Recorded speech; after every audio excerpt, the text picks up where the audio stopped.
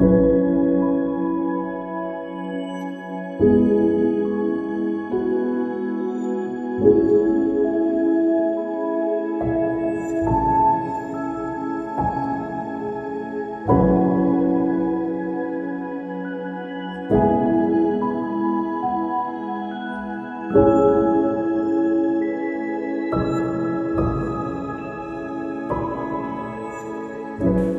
Баарыңыздар эле көрүп тургандай бул зал аялдардын йога менен машыгуу залы. Ал эми бул асылып турган материалдарга адамдар өздөрүнүн салмагын көтөрүүнү үйрөнөт жана бул адамдын эс алуусуна жардам берет.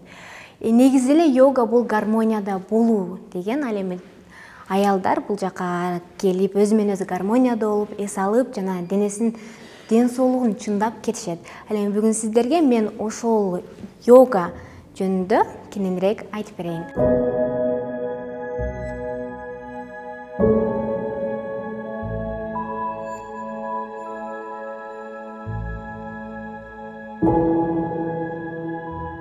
йога мама залынын негиздөөчүсү жана машыктыруучусу гүлназ айым отуз үч жашта кыргыз түрк манас университетинин экономика факультетин аяктаган ал эми йога менен машыгууну жана бул тармакка ооп кетүү ойлору кош бойлуу мезгилинде пайда болгон. Ага ош шаарындагы болочок энелер үчүн атайын окуу курстары жок болгондугу түрткү болгон. Учурда йога машыктыруучусу болуп эмгектенип жатканына тогуз жылдын жүзү болду.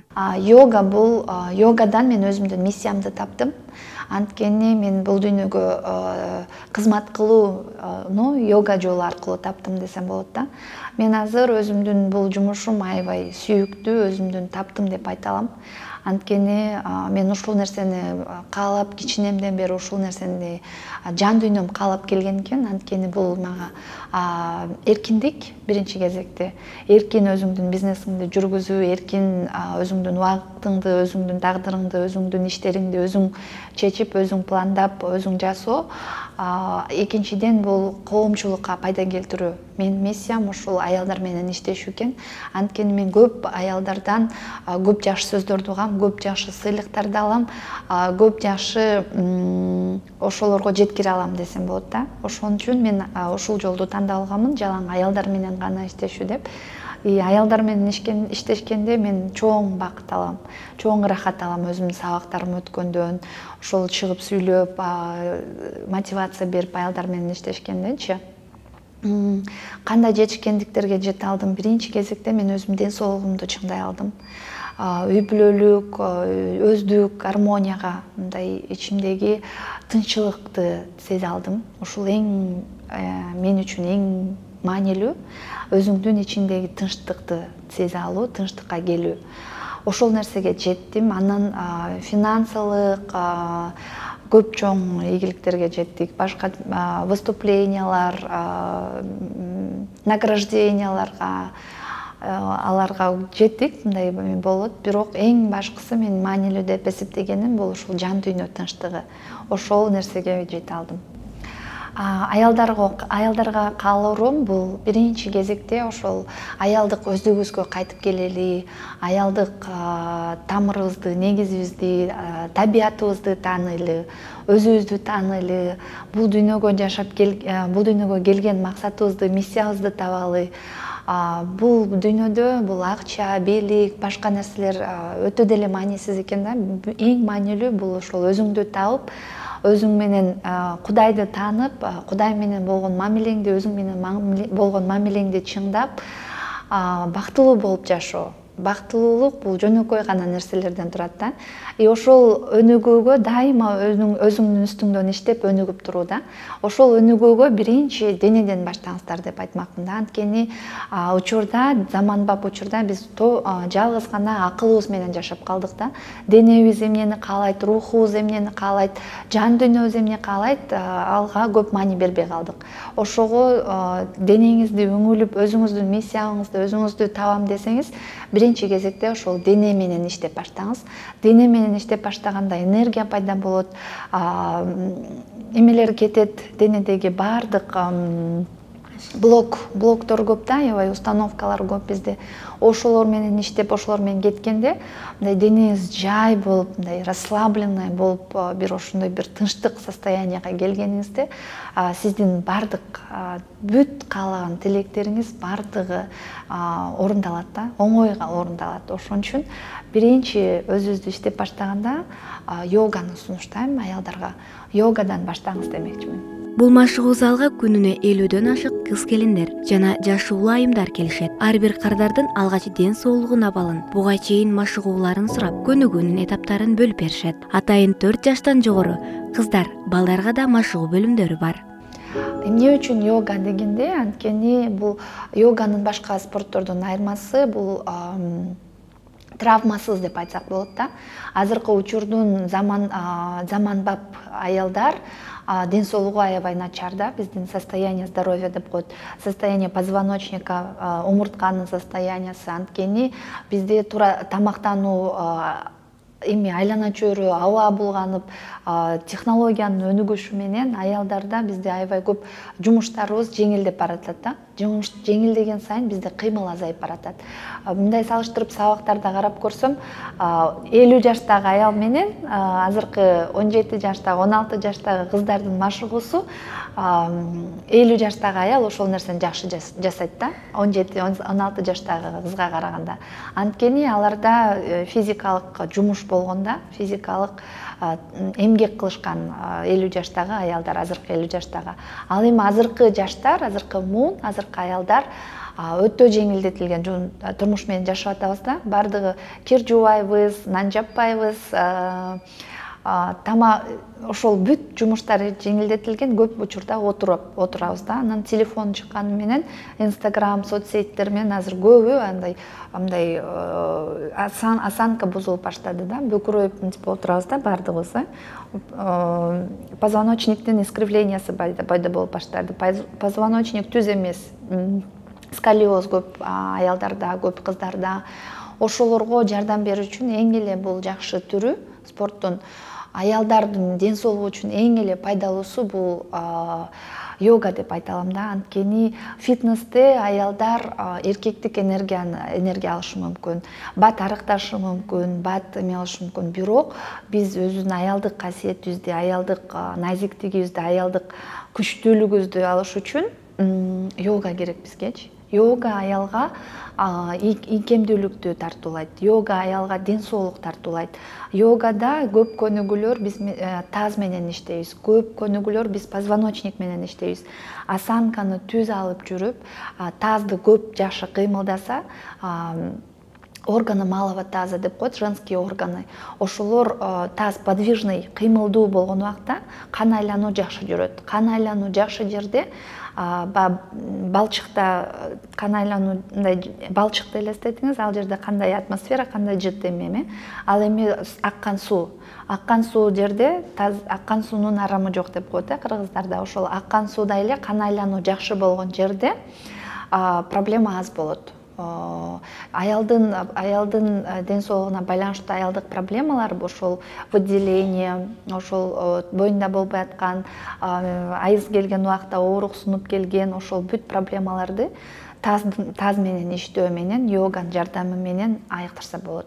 Ошол баардык проблемаларды чечсе болот. Бизде аябай көп учурлар болгон аялдар төрөй албай жүрүп бизге келип кан айлануу жакшы болуп раскрытие болуп анан төрөгөндөр аябай көп арыктап ден соолугун чыңдап өзүн жакшы сезип анан учурдун эң чоң проблемасы бул депрессия стресс э.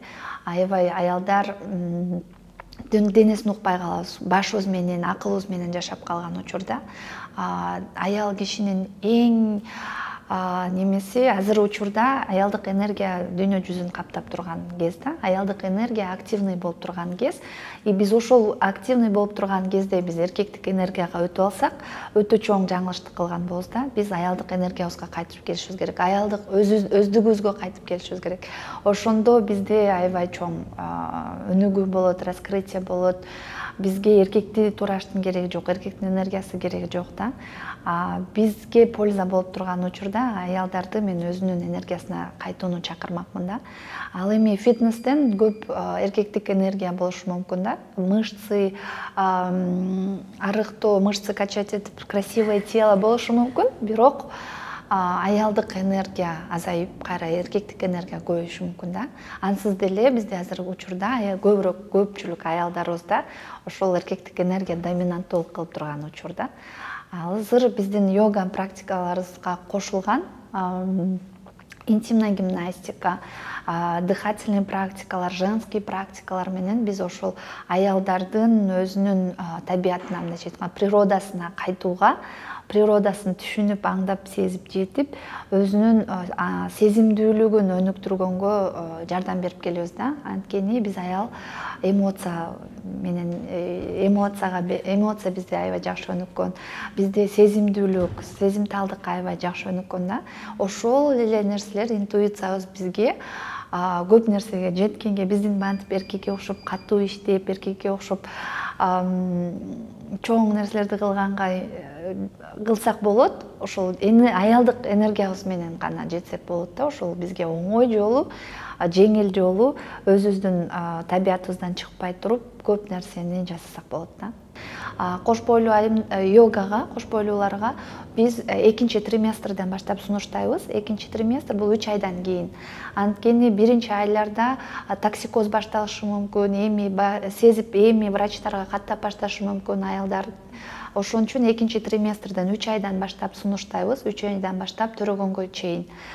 Кош бойлуу айымдар үчүн йога эмне үчүн жардам берет? Эмнеге эмне пайда алып келет анын пайдасы ошол кош бойлуу учурда төрөткө даярдануу төрөттү жеңил төрөткө даярдануу операциясыз табигый түрдө ошол даярдануу үчүн аялдын ден соолугу чың болуш керек. Аялдын шейка матки деп коет таз раскрытый болуш керек. Э, разрывсыз жакшы жеңил төрөйм десеңиз балаңыздын разрыв менен кыйналып төрөгөндө бала аябай чоң жапа чегип калышы мүмкүн да. Ошол баланы ойлосоңуз баланын жакшы ден соолукта төрөлүүсүн кааласаңыз баардык кош бойлуу айымдарга йога для беременныхты сунуштайм.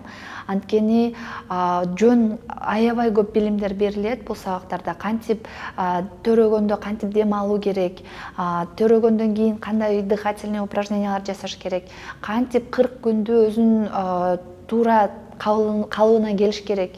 Аябай чоң мифтер бар аябай чоң жаңылыштыктар бар да биздин элде.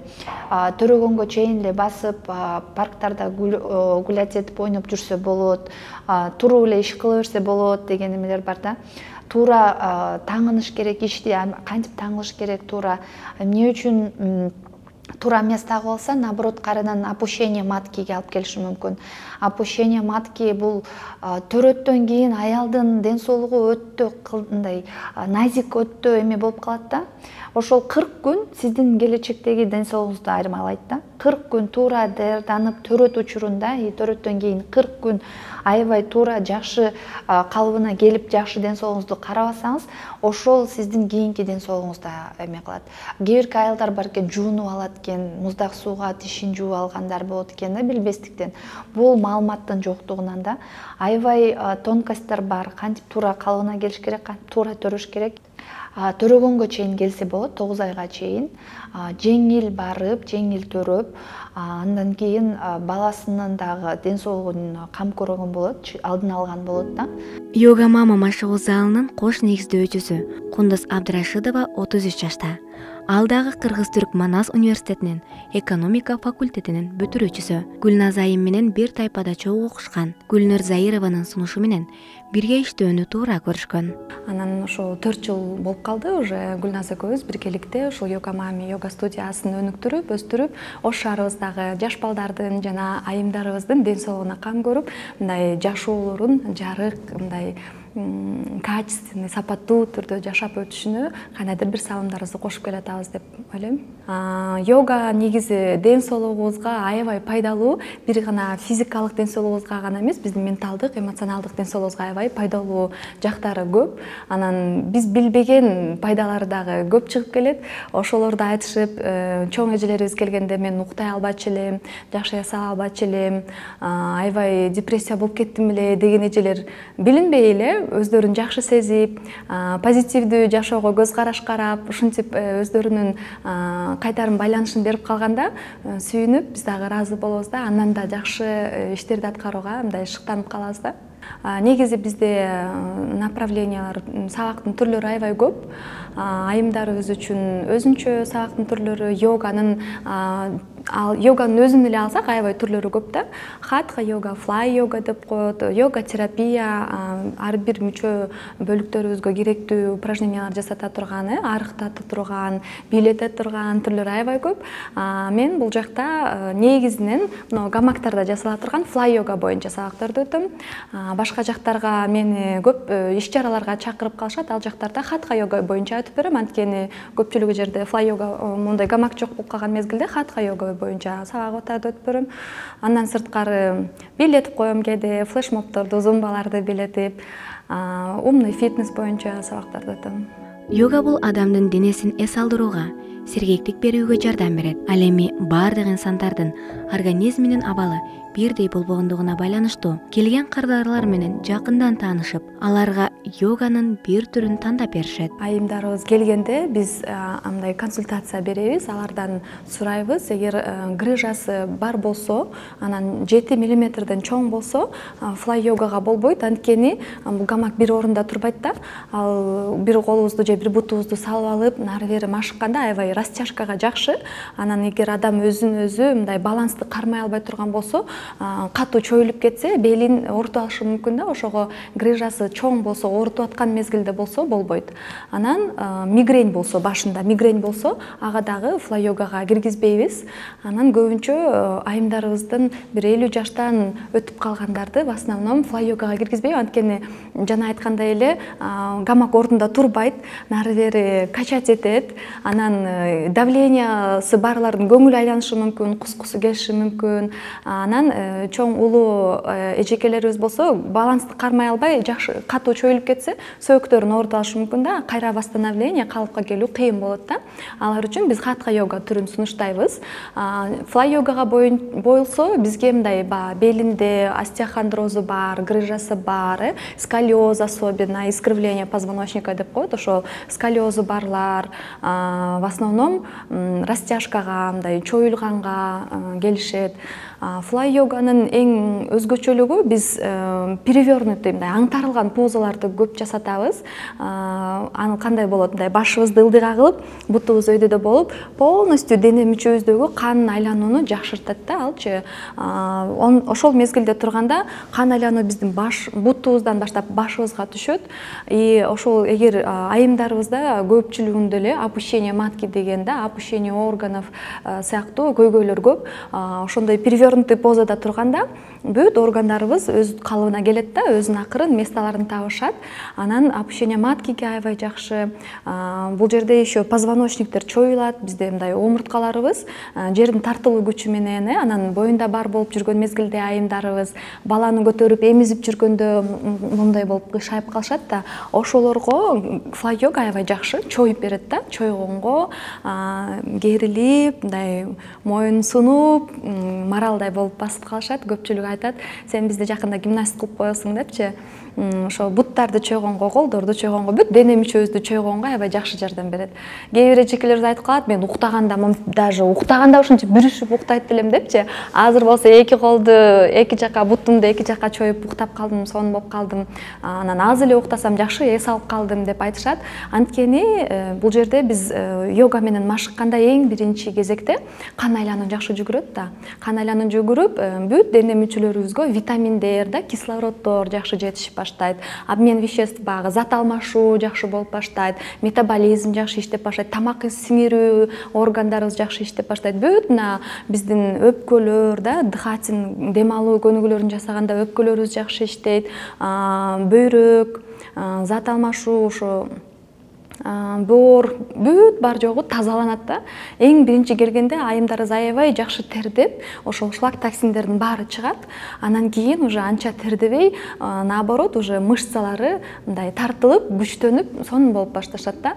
Көпчүлүгү негизи арыктаганы келишет арыктаганы келишет дагы эми арыктаган бул биздин көзүбүзгө көрүнө турган результат да.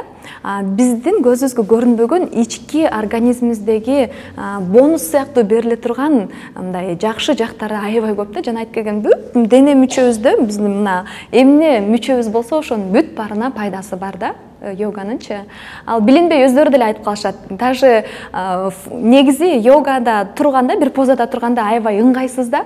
Себеби ал жагың чоюлат бул жагың чоюлат колуң бутуң талып кетет неудобный положенияда турасың бирок ошол жерде турушуң керек. Определенный бир убакытка турганда анан дене ошону жаттап калат дагы чоюлуп мындай эластичный растянутый болуп баштайт да чоюлчаак болупчу ошол нерсеге биздин организмде иммунитет пайда болгондо жашоодо башка окуяларга дагы биз туруштук берип баштайбыз да. Ички күчүбүз баягы стержень внутренний стержень деп коет го ошол күчтүү болуп баштайт да.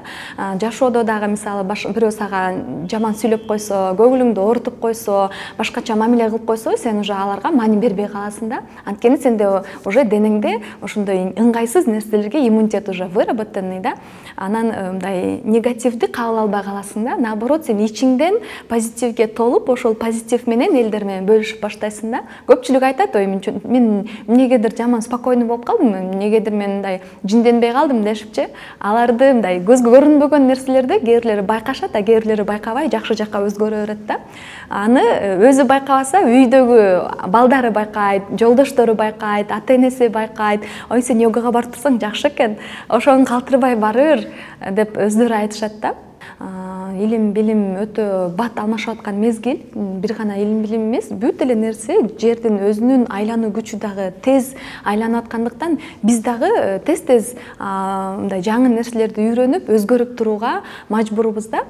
Биз бир жылына бир же эки жолу бишкекке барып э, сабактарды алып э, өзүбүздүн билимдерибизди жогорулатып турабыз. Же болбосо ошол жай мезгилдеринде бишкекте аябай күчтүү йог мугалимдер бар. Ошолорду өзүбүзгө бул жака чакырып өзүбүз жана тренерлерибизди кошо окутуп повышение квалификациядан өткөрдүрүп турабыз да. Тез тез бишкекке барып россиядан тренерлер коучтар көп келишет. Ошолордон сабактарды алып турабыз. Анатоми клаб деп коет. Ошол эменин анатоми клаб мектеп да булчу ошол мектеп особенно анатомия боюнча биздин дене мүчөбүздүн мышцалары боюнча булчуңдар боюнча сонун сабактарды өтүшөт. Кечээ жакында эле ошол могул эме позвоночник омуртка жана стопа деп коет. Мына бутубуз тапан боюнча сабак алып келдик. Көпчүлүгүбүз ойлойбуз бул тапан эмне боюнча иштейт эми мунун эмне кереги бар муну окуп эмне кереги бар дешет да. Бирок эң негизги биздин фундаментибиз ошол тапандан башталат да. Эгер биз э, тапаныбыз менен машыгып аны массаж кылып да топтор менен массаж кылып кам көрүп жакшы өзүбүздү алып жүрүп особенно туура басып туура отура турган болсок ошол мына дене мүчөбүздөгү омурткаларыбыз желкелерибиз таз таз расположениялары туура болот да. Эгер туура эмес баса турган болсок туура эмес отура турган болсок акырын акырын бизде ошол омурткабыздын кыйшайып башташы эми бир желкенин көтөрүлүп калышы же мындай жака кетип калат да ошол из за того что биз туура эмес басабыз и туура эмес отурабыз. Эң негизгиси айымдарыбыз өзүңүздөрдүн ички жан дүйнөңүздөрдү тынчтандырыңыздар. Ички э, мындай сезимдериңизди ички өзүңүздүн үнүңүздү укканды үйрөнүңүздөр ал үчүн сиз эң биринчи өзүңүздүн денеңизди сезип баштаганды үйрөнүшүңүз керек да бизде йогада акырын көнүгүүлөр акырын жасалат бирок ошол мезгилде сиз өзүңүздүн денеңиздин ар бир булчуңун ар бир э, мындай мышцаларыңызды сезип баштайсыз. Сиз денеңизди угуп баштаганда денеңизге кам көрүп баштаганда ички үнүңүздү дагы сиз угуп сезип баштайсыз да. Ошондуктан денеңиздер менен иштеңиздер спорт түрү менен машыгыңыздар көп көп сыртта табиятка чыгып басыңыздар. Ошол сиз өзүңүздү сүйүп өзүңүзгө кам көрүп баштаганыңызда ички сиздин кичинекей айымыңыз дагы сизге рахматын айтып ыраазычылыгын айтып баштайт. Сиз ичиңизден мындай жанып күйүп көздөрүңүз дагы жанып баштайт да башкаларга дагы ошол сүйүү менен мээрим менен бөлүшүп баштайсыз. Үй бүлөңүздө балдарыңыз менен болгон жолдошторуңуз менен болгон мамилеңиздер дагы жакшырат дүйнө жүзү негизи эле айымдардын сүйүүсү менен мээрими менен кармалып турат экен да. Андыктан эң биринчи өзүңүздөрдү сүйүңүздөр өзүңүздөргө кам көрүңүздөр башка жагы болсо буйруса алла таалам бере берет. Элеонора айымыбыз кырк үч жашта. Бул залда эки жылдан бери машыгып келет. Жумушу онлайн болгондугуна байланыштуу. Көп убакыт кыймылсыз олтурууга аргасыз. Бирок убакыттын өтүшү менен ден соолугунда маселе пайда боло баштайт. Ошондуктан физикалык кыймылды көбөйтүүнү чечкен учурда ден соолугундагы көйгөйлөр жоголуп жеңилдеп жакшы натыйжаларга жеткендигин айтат. Менин кесибимдин алкагында эми дайым телефон менен отуруп э, иштегеним үчүн менде дайым э, белим менен грыжа проблемасы бар. Остеохондроз постоянно ылдый болгону үчүн. Ошондуктан э, уже эки жылдан бери йога мамага келемин. Буга чейин өзүм ютубта макшыгып көргөнмүн бирок кыймыл аракеттерди туура эмес жасаган үчүн наоборот э, тескерисинче зыян алып келип алат экенсиң. Ошондуктан мен профессионалдардын колунан эле туура э, асаналарды жасоону үйрөнүү үчүн э, йога мамага келгем. Тренерибиз аябай профессионал өзүнүн ишин билгендиктен анан керектүү атмосфераны машыгуу үчүн керектүү атмосфераны түзө алгандыктан биз аябай жакшы көрөбүз группабыз өтө ынтымактуу и аябай сонун машыгабыз да кантип бир жарым саат өтүп кеткенин байкабайбыз ушу э, эки жылдын ичинде эмне менде кандай өзгөрүүлөр болду э, грыжам оорубай калды андан тышкары кырк жаштан өткөндөн кийин уже өзүнчө аял затына байланыштуу ден соолуктун проблемалары болот. Ошолордун да алдын алуу э, максатында да келип аткан үчүн э, өзүмдүн практикамда байкап атам да өзгөрүштөр аябай жакшы. Э, эки балам бар кыз жана уул ушу жайында каникулга чыкканда кызым менен кошо келип машыгам деген планым бар. Себеби дегенде йога именно аял затынын денеси үчүн ден соолугу үчүн өтө пайдалуу нерсе. Э, канчалык алдын алдын ала эртерээк э, машыксаң ошончолук э, баягы карылыкка дагы достойно кирип барасың да сулуулук менен осанка менен ден соолук менен кирип барасың. Ошондуктан мен баардыгына йоганы йога маманы сунуштайм. Мында кырк эки жаштагы алтынай мансурова дагы ден соолугуна байланыштуу келип калган ден соолугун гана жакшыртпастан жеке жашоосундагы айрым жагдайларды жакшы жакка бура алган мансурова үч баланын сүйүктүү апасы. Өзүм жыйырма жылдан ашык содада эмгектенем ошол анан кийин содада кечке жүргөндө сууктарда россияларда иштегем сууктарда көп ооруларга чалдыктым баягы баш оору бел оору ошого байланыштуу э, врачтарга барганымда албетте алар мага э, спорт менен машык деген неме беришти. Мен остеохондрозум баш оорум грыжам болгондуктан мени көбүнчө йогага бар дешти. Анан мен ушул гүлназ заировага келдим аябай жагып калды гүлназ. Бир көргөндө эле бир жыл болуп калды уже келип машыкканыма. Мен уже таблетка ичпей калдым. Башыма көп жакшы таасир берди. Ушунчалык э, э, бул ритуал болуп калды. Йога для меня это ритуал жизни болуп калды. Спорт менен машыккан э, ушунчалык менин жашоомду өзгөрттү десем болот жакшы жака оорубай калдым стресс болбой калдым. Бул не только мындай физический жактан йога жардам берет но и психологический жактан дагы жардам алса болот. Ошондуктан мен баардык оштун айымдарына ушул таасир эме йоганы советовать этет элем да келгенде учурда бул йога мама клубунун үч филиалы бар. Мында йоганын баардык түрүн табууга болот. Мисалы флай йога хатка йога релефтик зумба банджи фитнестери жана батыш бийлеринин түрү боди балет кош бойлууларга төрөткө даярданууга тэквондо гимнастика жана башка түрлөрү менен машыктырышат.